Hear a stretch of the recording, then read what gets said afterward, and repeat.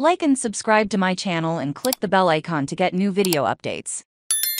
New Zealander Hannah Wilkinson, FIFA Women's World Cup 2023 biggest event for country New Zealand is known as a sporting country that punches well above the weight of its 5 million people. From cricket to rugby, New Zealand teams have shown on the world stage. Now it's football's turn as New Zealand prepares to join Australia to host the FIFA Women's World Cup 2023 from 20 July to 20 August, and Football Ferns forward Hannah Wilkinson believes it will surpass anything the country has hosted to date, including the Rugby and Cricket World Cups, to come ahead for the country. For us, it's the biggest event in the world. The last World Cup had record-breaking prospects. It's just huge. Hosting this tournament will bring about a sea change. Its a global championship sport it is, not a sport that is really seen very often in New Zealand. We re-rugby mad and we re-cricket mad, but what I'd like to see after this World Cup is that we re a football mad country too.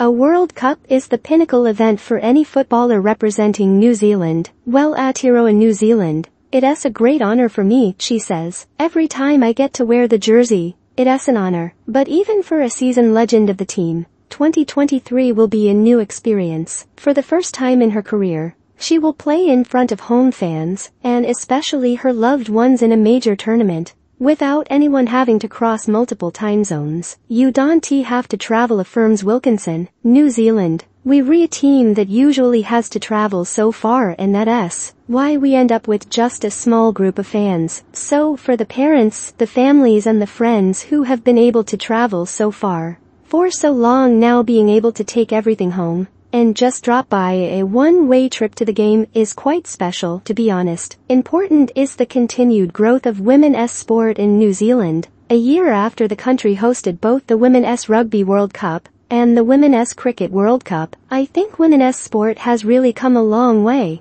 but I think we still